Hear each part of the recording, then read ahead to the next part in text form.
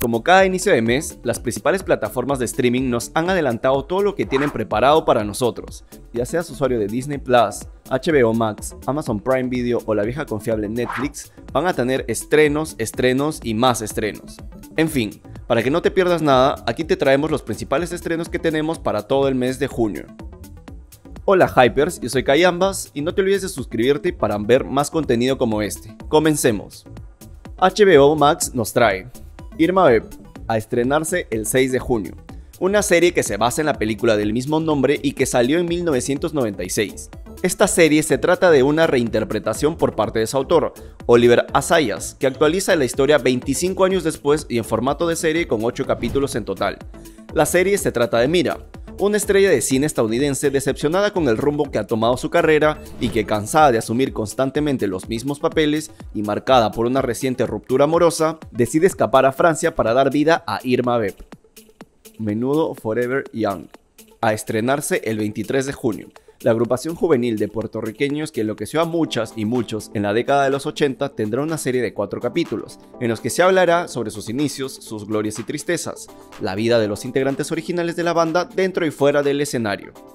Disney Plus nos trae Glee en la plataforma desde el 1 de junio, Apenas empezando el mes, Disney arremete con todo, y es que la serie juvenil americana marcó la vida de millones de adolescentes alrededor de todo el mundo, y es más que seguro que muchos de ellos que de adolescentes ya no tienen mucho, volverán a ver esta serie para recordar buenas épocas. Miss Marvel, a estrenarse el 8 de junio.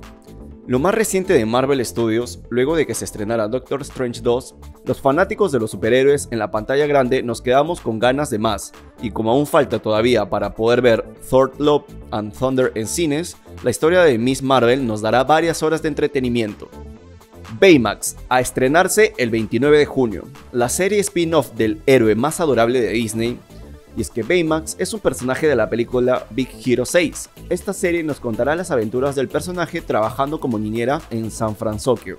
Todas las series de Marvel que pertenecen a Disney en la plataforma desde el 29 de junio. Jessica Jones, Iron Fist, Luke Cage, The Punisher, Daredevil, The Defenders. ¿Te suenan familiares? Seguramente sí porque estas series ya estuvieron en Netflix, pero de un tema de contratos y cosas legales ahora estarán en la plataforma de Disney.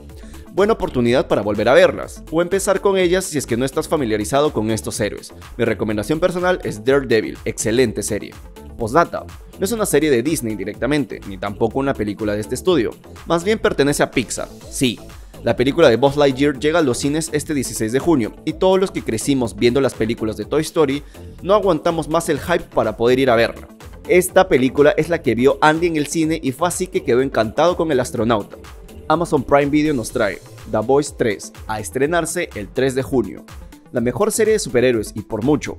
Si esperas ver lo que estás acostumbrado a ver en las películas de los universos cinematográficos de héroes y villanos más famosas del medio, lamento decirte que no lo vas a encontrar en The Boys. Esta serie aborda los superhéroes, por su lado más humano posible. Tienen errores, son imperfectos, son emocionales y hasta a veces muy tontos.